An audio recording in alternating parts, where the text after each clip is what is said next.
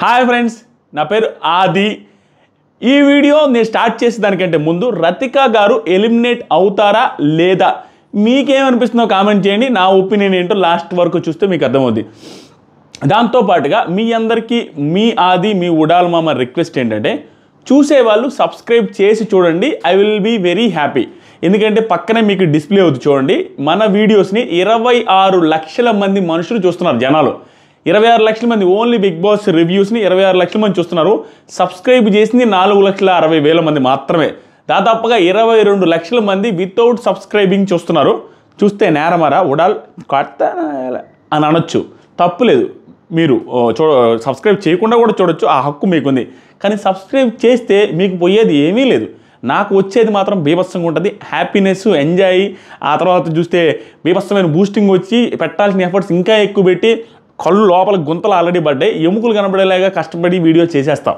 దయచేసి సబ్స్క్రైబ్ చేయండి. ఇరవై ఆరు లక్షల మంది కనీసం దాంట్లో ఒక టెన్ పర్సెంటే ఈ సీజన్కి మనకు రావాలని కోరుకుంటున్నా. రెండు లక్షల అరవై వేల మంది ఎక్స్ట్రాగా సో ఓటింగ్ స్టార్ట్ చేసేదానికి ముందు ఒక మాట చెప్పాలనిపించింది. నిన్న రతిక గారు నామినేషన్స్లో అదే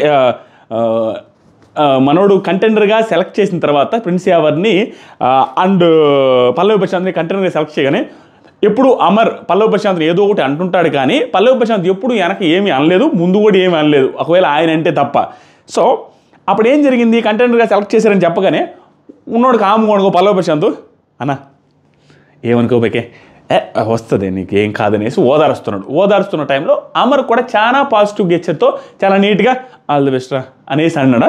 అనగానే సరే మన అక్క కూడా ఉంది నిన్నే క్షమాపణలు చెప్పాము.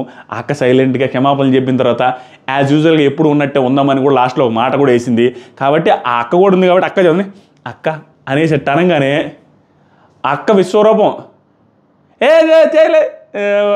ఓ పక్క కంటెండర్ అక్క అంట. అక్క కంటెండర్ పోయింది ఏం బాధపడుతుంటే సో సోదే నువ్వు సోదే అనేసి లేచి వెళ్ళిపోయింది. కంటెండర్ పోయినందుకు.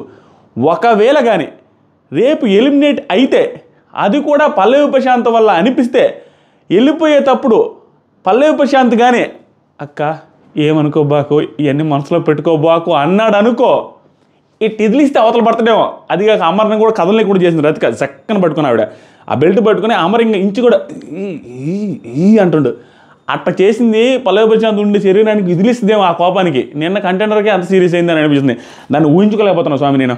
కానీ ఎలిమినేట్ అవుతారో లేదనేది మనం తేల్చేద్దాం. సో మీకేమనిపిస్తుందో కామెంట్ చేయండి. ఈ వీడియోని లైక్ కూడా చేయండి మీకు నచ్చితే.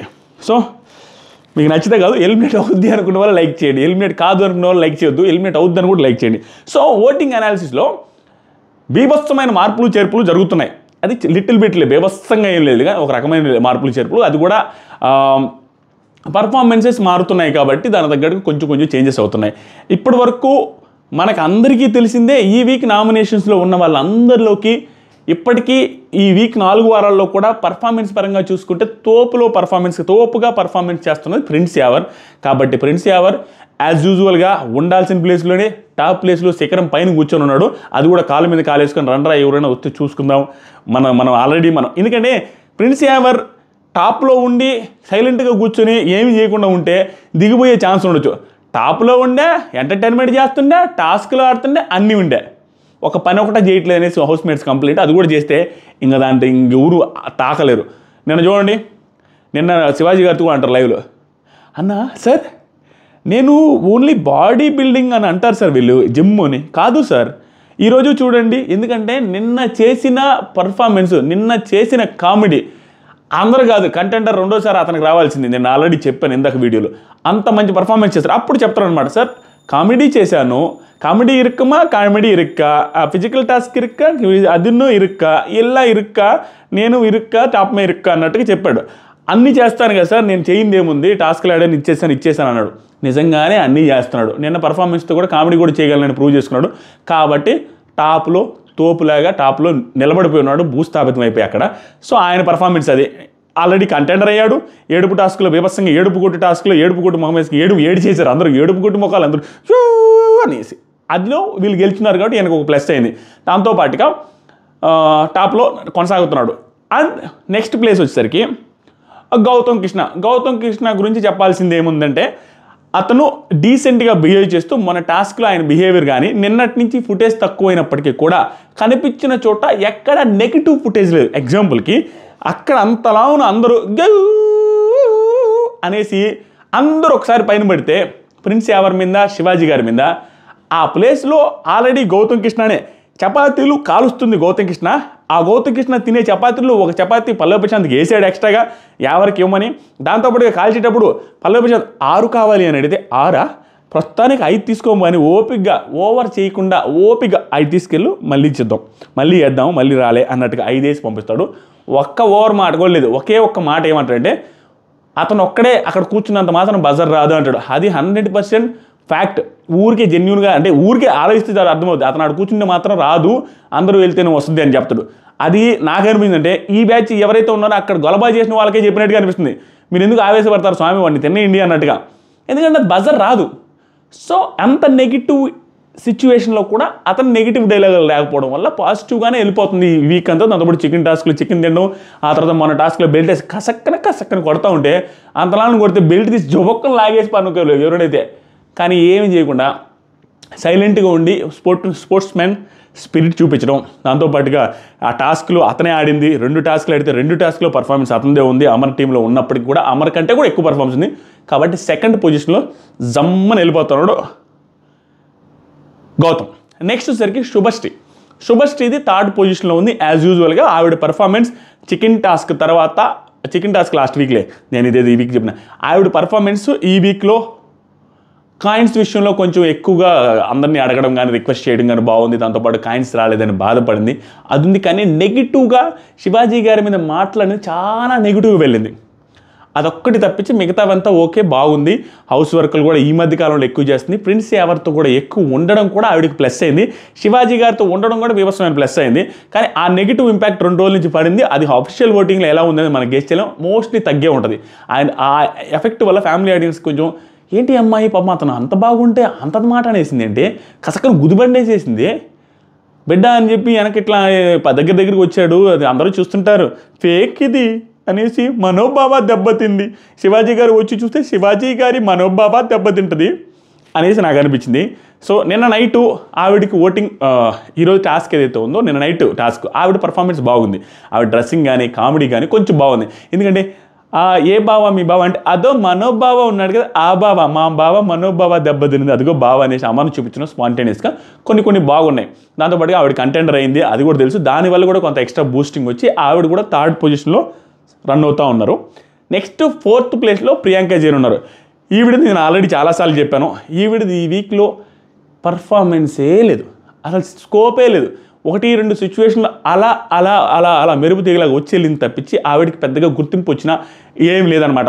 ఊరికి సైడ్ క్యారెక్టర్ లాగా వచ్చి వెళ్ళిపోయారు. పెద్దగా ఇంపాక్ట్ ఏం లేదు. వచ్చిన క్యారెక్టర్ ప్రకారం వచ్చిన దాంట్లో కూడా ఆ కిచెన్ దాంట్లో నాలుగైదు డైలాగులు అట్లా చపక్కనే వేస్తారు మెరుపు దిగలేగా అవన్నీ కసకను గుచ్చుకుంటాయి నెగిటివ్గా కాబట్టి అది కూడా నెగిటివ్ కంటెంట్ లాగా వచ్చింది కాబట్టి కొంచెం ఇది తగ్గుతుంది. కానీ మనకి ఇక్కడ కనపడదేమో కానీ అనఫిషియల్ ఓట్లో కంటే అఫిషియల్ ఓట్లో ఆ సీరియల్స్ చూసే చాలామంది కనెక్ట్ అయి ఉంటారు సీరియల్స్ చూస్తుంటారు కాబట్టి వాళ్ళు అఫిషియల్ ఓట్లో వేస్తూ ఉండొచ్చు. ఈవిడ పొజిషన్ మాత్రం అఫిషియల్ ఓటింగ్లో మనం గెస్ట్ చేయలేం. సెకండ్ పొజిషను థర్డ్ పొజిషను ఉండుండొచ్చు. ఛాన్సెస్ ఉన్నాయి. కానీ అనఫిషియల్ ఓట్ల ప్రకారం అయితే ఈవిడ ఫోర్త్ పొజిషన్లో నడుస్తుంది. వాళ్ళ బ్యాచ్లో వాళ్ళు రామనేషన్లో లేకపోయినప్పటికీ కూడా అది ఆశ్చర్యకరం. అంటే ఏంటి?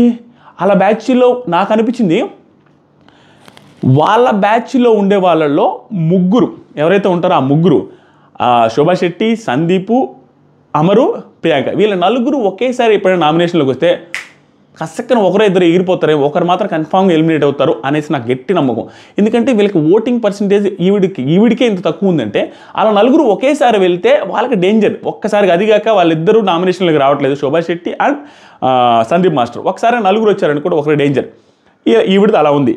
ఆ తర్వాత ఫిఫ్త్ పొజిషన్లో సిక్స్త్ పొజిషన్లో ఉండేది tasty Teja and Rathika. Tasty తేజాది already చెప్తానే ఉన్నా. అతనికి ఫస్ట్ వీక్ నుంచి జనాలు కనెక్ట్ అయిన వాళ్ళు తక్కువ చాలా తక్కువ. ఎందుకంటే అతను గేమ్ మీద క్లారిటీ లేదు. క్లారిటీ ఇన్ ద సెన్స్ వచ్చామా కామెడీ చేశామా? అందరితో మంచిగా సకుటుంబ సపరివార సమేతంగా అందరూ నన్ను చూడాలా? అందరూ నేను బయటికి వెళ్ళిన తర్వాత కూడా రేప ఉండాలా? అందరితో బాగుండాలి అన్నట్టు బిహేవ్ చేస్తాను కానీ ఎవరితోనైనా ఇష్యూ పెట్టుకుందామని కానీ ఎవరితోనైనా గొడవ వేసుకుందామని కానీ ఎవరితోనైనా సీరియస్గా మాట్లాడదామని కానీ ఏమీ లేదు. జోక్గా జోక్గానే తీసుకున్నారు. జనాలు కూడా అతని జోక్గా జోకర్ లాగే తీసుకున్నారు. తప్పచ్చ ఒక గేమర్గా ఇతను ఉంటాడు కప్పు కొడతాడు ఇతను గెలవచ్చు అనే sense one percent zero point zero one percent members కూడా లేకుండా పోయింది. ఆ ఇంపాక్ట్ ఇవ్వడంలో అట్టర్ ఫెయిల్యూర్ అయిపోయాడు టేస్టీ తేజ. దానివల్ల లాస్ట్ నుంచి లీస్ట్లో టాప్ టూలో లీస్ట్లో టాప్ టూలో ఉన్నాడు టేస్టీ తేజ. ఓటింగ్ చాలా తక్కువ పడుతుంది. నిన్న కూడా పర్ఫార్మెన్స్ ఏమీ లేదు. నిన్న అతని నుంచి చాలా ఎక్స్పెక్ట్ చేస్తుంటుంది బిగ్ బాస్ టీమ్ కానీ ఆడియన్స్ కానీ కామెడీ చేస్తారని ఫస్ట్ వీక్లో అతను ఏదో ప్రిపేర్ అయ్యి వచ్చినోడు కానీ ఫస్ట్ వీక్ రెండు రోజుల్లో ఆ కంటెంట్ అంటే అయిపోయింది అన్నట్టుగా ఫస్ట్ వీక్లో ఉన్న ఎంటర్టైన్మెంట్ ఫస్ట్ వీక్లో ఉన్న టేస్టీ తేజ లేడు. అట్ టేస్ట్లెస్ తేజలాగా అయిపోయాడు టేస్టీ తేజ. చప్పగా ఒగరుగా ఘాటుగా కారంగా విరక్తిగా అంటే టేస్ట్ లేకుండా అయిపోయింది ఆయన కామెడీ కూడా. ఫస్ట్ వీక్ బీభత్సంగా ఉన్న కామెడీ ఇప్పుడు అసలు లేకుండా పోవడం ఒకసారిగా ఏంది తేజ ఏది మాట్లాడినా నవ్వు రావట్లేదే? ఒక్క జోకేనే వేస్తాడా అంటే ఎపిసోడ్ మొత్తం మీరు చూసిన ఒక్క జోక్ కూడా పేలట్లా వేస్తుండగాని సో దానివల్ల ఓటింగ్ చాలా తక్కువ ఉంది. ప్రజెంట్ అయితే ఎలిమినేట్ అయ్యే ఛాన్సెస్కి దగ్గరలో ఉన్నాడు టెస్ట్ తేజ ఇప్పుడు రతికా గారి గురించి మాట్లాడుకుందాం. రతికా గారు ఎలిమినేట్ అవుతారా లేదా అనేది ఆవిడికి ఏం జరుగుతుందంటే ఏ ప్రోమాన్ పెట్టు నా దాంట్లో కూడా మూ ఎవరు ఎలిమినేట్ అవ్వాలని కోరుకుంటున్నారు రతికా గారిని అనేసి అనగానే నాలుగు వేలు మూడు వేలు లేఖలు నా దాని కింద కూడా. నా నా మరీ కామెడీలు చేస్తున్నారు. పిచ్చ కథలు పడుతున్నారు మన వాళ్ళు చూసే వాళ్ళందరూ. నాకు భలే కోపం. ఎందుకు తెలుసా? ఏం చేస్తాం? వీడియోకి కూడా అన్ని లేఖలు రావట్లా. కింద రతికా గారు ఎలిమినేట్ అవ్వాలని ఎంతమంది కోరుకుంటున్నారంటే నా వీడియో కంటే ఎక్కువ లేఖలు వస్తుంటే కుళ్ళు బాధ నాకు తన్నుకొచ్చేస్తుంది. ఏంద్రా ఇది? నాలుగు వీడియోకైనా లైకులు రావాలి కానీ ప్రోమో కామెంట్కి ఎక్కువ లైకులు వస్తున్నాయి. ఇంకా అఫీషియల్ ప్రోమో కింద అయితే ఇరవై వేలు లైకులు ఇరవై ఐదు వేలు లైకులు ఎవరు ఎలిమినేట్ అవ్వాలనుకుంటున్నాను అది చూసిన తర్వాత జనాల్లో ఏంద్ర ఈ ఆవేశం? ఏంద్ర ఈ సైకోయిజం చూపిస్తున్నారు జనాలు? ఈ పంపించేయాలని ఒక ఆ- ఆ బిడ్డని ఎందుకురా అట్లా చేస్తున్నారు అన్నట్టు అనిపించింది. కానీ ఆ బిడ్డ చేసేవి కూడా అట్లానే ఉన్నాయని కదా అనేసి ప్రాంక్గా ఒప్పుకుందాం అనుకుంటున్నా. ఏం జరిగిందంటే ఆవిడ ఫస్ట్ వీక్లో ఐఏఎస్ అని చెప్పిన తర్వాత ఆవిడ గేమ్ నిజంగా ఆ వీక్ ఎలా ఉందంటే నెగిటివిటీ ఏ రేంజ్లో ఉందో పాజిటివిటీ అదే రేంజ్లో ఉండి Rathika one of the top contestants అనే ఆ ఇమేజ్ తీసుకొచ్చారు. ఈవెన్ మనకి నచ్చకపోయినా కొంతమందికి నచ్చే వాళ్ళు చాలామంది ఉన్నారు. కానీ step by step step by step ఆవిడ ఒక్కసారిగా ఎవరికి ఎదురుపోవడం ఎవరిని వద్దు అని చెప్పి రా తీసుకుంటా అని చెప్పి బయట చెప్పడం మళ్ళీ నెక్స్ట్ వీక్ క్లోజ్ అయిపోయి ఆయన కలిపి పెడితే ముద్దలు తిని ఆ తర్వాత తిన్న తర్వాత కూడా మళ్ళీ వెనక్కి వెళ్ళేసి కన్ఫెషన్ ఇక్కడ ఇక్కడ ఆల్ ది వెరీ బెస్ట్ అని చెప్పి అక్కడ ఆల్ ది వెరీ బ్యాడ్ చేసేసింది అక్కడ. చేసేసిన తర్వాత మళ్ళీ వచ్చి ఇక్కడ ఆల్ ది వెరీ బెస్ట్ నేను చేయాలనుకుంటున్నాను. నువ్వేంటి ఇలా చేసావు? నేను శోభాని ఎవరిని ఇద్దాం అనుకుంటున్నాను? ఇద్దాం అనుకున్నాను అక్కడ పొద్దామనేసి పోవద్దు అనేసి పొడి చేద్దేయాలని ఎందుకు అనుకుంటున్నావు అని అంటే దానికి ఆన్సర్ ఉండదు. అలా స్టెప్ బై స్టెప్ మార్చేస్తుంది. ఇంకా నెగిటివ్ ఆవిడకి వీకెండ్లో అంటే వీక్కి దగ్గరగా వస్తున్న రోజుల్లో వన్ డే ఓటింగ్ ఉన్న టైంలో రావడం డిజాస్టర్ ఆవిడ అదృష్టం దురదృష్టం అనుకోవాలి. అదృష్టము దురదృష్టం రెండు. అది ఎందుకో చెప్తాను. ఏం జరుగుతుందంటే ఈ వీక్కి ఒక్కరోజే ఉంది కదా ఇంకా నిన్న ఈరోజు కూడా ఆవిడ నెగిటివ్ అవ్వడం. నిన్న చూస్తే పల్లవి ప్రశాంత్ కంటెంట్ అవ్వకపోతుంటే అక్క అంట అక్క. సో అదే అనేసి అనడం అక్కడ నెగిటివ్. దాంతో పాటుగా ఎవరికి ఎవరిని కాయిన్స్ అడిగి ఎవరితో నీకంటే ఎక్కువ నాకు నువ్వు తీసుకో నాకంటే ఎక్కువ నువ్వు బజర్ కొడుతు నన్ను తీసుకొని రిక్వెస్ట్ చేసి క్లోజ్గా మాట్లాడి అక్కడ అమరకడివి ఎవరి అగ్రెసివ్నెస్ ఎవరి బిహేవియర్ చూసిన తర్వాత అతను అవనిస్తామా మనము? కంటెండర్ నో ఛాన్స్ అనేసి అనడం ఆయన పిల్లర్స్ అనుకుంటున్నాడు. ఆయన బుద్ధి నాకు తెలిసి వచ్చిందని అన్నాం. నేను నైట్ లైవ్ శివాజీ గారితో నీకు అనవసరంగా సపోర్ట్ చేశాను నేను. ఆ రోజు ల్యాగ్ ల్యాగ్ అని చిరంజీవి చిరంజీవి గారి చేత నాగార్జున సార్ చేత అనిపించుకున్నాను. నీకు సపోర్ట్ చేసి తప్పు చేశాను అనేసి అనడం ముఖం మీదే. ఆయన పట్టుకొని ఆయనేమో ఆ బిడ్డ మంచిదేరా పాపం రా అనేసి అనడం ఇతను పల్లెపు శతకం కూర్చొని ఏందన్నా నీకు అట్లా అనిపిస్తుంది ఆ పసిబిడ్డ ఏం కాదని అన్నీ తెలుసు. నీకు తెలియట్లా? అనేసి అనేడు. ఇవన్నీ చూసిన తర్వాత ఇంకొక నెగిటివ్ ఏమైందంటే ఆవిడకి ఈరోజు ప్రోమోలో ప్రోమోలో ఒకవేళ అది టాస్కే అయి ఉండొచ్చు. నోటుకొచ్చినట్టు పల్లవ ప్రశాంత్ మీద మాట్లాడుతుంటే టాస్కే అది. ఆ పాయింట్లు మనం ఏం అనలేం. ఎలా పెంచారు అది ఇది అనడం చూసినా అది ఖచ్చితంగా కోపం రావాలి వదిలేయాలి అనేసి చెప్తున్నారు. కానీ దేనికైనా ఎవ్రీథింగ్ ఇంగ్లీష్ ఎందుకులే? దేనికైనా కూడా ఒక లిమిట్ టు బార్డర్ అనేది పెట్టుకోవాలి ఎవరైనా కూడా. జోక్ అనేసి మనం చెప్పాను కదా ప్రాంక్ ప్రాంక్ అనేసి కెమెరాలకి. బిగ్ బాస్ చూస్తూ ఉండండి నేను చూసుకుంటాను. మీరు ఏం టెన్షన్ పడద్దని శివాజీ గారు చెప్తారు. డమ్మిల్స్ ఇసిరేసాడు మొహాల మీద మనుషుల మీద ఇసిరేస్తే ప్రాంక్ అని. సో లిమిట్ ఉండాలి ఏది మాట్లాడుతున్నాం అనేది? అది ఒకటి తప్పు. దాంతోపాటుగా నిన్నటిదాకా ఎవరికి కసక కసక కసకను పొడిచేసి పొడిచిన దానివి ఇక్కడ కూడా ఎవరికే పడవాలి కదా? అందరూ ఎవరికి పొడుస్తుందేమో అనుకుంటే ఎందుకంటే నిన్నే కదా ఫ్రెష్ లేటెస్ట్ అప్డేట్ ఆవిడ బ్రేకింగ్ న్యూస్ ఇచ్చింది. ఎవరిని అవనిస్తామా హౌస్మేట్ అనేసి ఇచ్చిన ఆవిడ మళ్ళీ కూడా ఫ్లిప్పు ఏ రోజు కూడా ఆవిడ అంచనాలకి అందని సంచలనంగా మారుతున్న రతిక గారు. నిన్నన్నారా ఈరోజు ఎవరికి కాకుండా పల్లవి ప్రశాంత్ ఓడిపోవాలని కోరుకుంటున్నారు సడన్గా ఏ మళ్ళీ ఫ్లిప్పు అది జనాలకి మింగుడు పడట్లా. మింగినా కూడా రిటర్న్ బ్యాక్ వస్తుందన్నమాట. అంత దారుణమైన పరిస్థితుల్లోకి వెళ్ళిపోయింది ఆవిడ. దానివల్ల ఆవిడ చేతులారా ఆవిడే నాశనం చేసుకున్నది బిగ్ బాస్ ఇదిని. ఎవరు ఎవ్వరు ఏం చేయలేదు ఆవిడ జర్నీకి ఆవిడే నిప్పు పెట్టుకున్నారు. ఇంకా మైనస్ ఏంటంటే ఆవిడ ఎవరైతే సి నాకేమనిపించిందంటే నాగార్జున సార్ ఫస్ట్ వీక్ పొగడడం వల్ల ఆవిడ వేసే ప్రతి స్టెప్ గోల్డెన్ స్టెప్స్ అనుకుంటున్నారు ఆవిడ. అందుకనే నెగిటివ్లోకి ఆవిడ తెలియకుండా వెళ్ళిపోతుంది ఇప్పుడు ఎగ్జాంపుల్కి కంటెస్టెంట్స్లో హౌస్ మేట్ అయిన శివాజీ గారితో ఉంటున్నారు. ఆయన ఓట్లు రావాలని కోరుకొని కూడా కోరుకోవాలి ఆవిడ. ఆయనతోనే నెగిటివ్ అయిపోయింది ఈ వీకే ఎవరు బాగా ఆడుతున్నాడు? ఎవరికి నెగిటివ్ అయిపోయింది. పల్లవి ప్రశాంత్ నామినేషన్ లేడు. నామ నామినేషన్ లేని టైంలో పల్లవి ప్రశాంత్ నెగిటివ్ అయింది. ముగ్గురు ఆల్రెడీ తోపుల్లాగా ఆడుతున్నారు ఈ సీజన్లో అన్న టాప్ ముగ్గురిని టాప్ ఐదులో ఉండే ముగ్గురిని వాళ్ళ ముగ్గురితోనే గొడవ వాళ్ళ ముగ్గురికి వెన్నుపోట్లు వాళ్ళ ముగ్గురితో సీరియస్ ఓట్లు ఎలా పడతాయి? నాకు తెలిసి ఎక్కడ పడట్లేదు.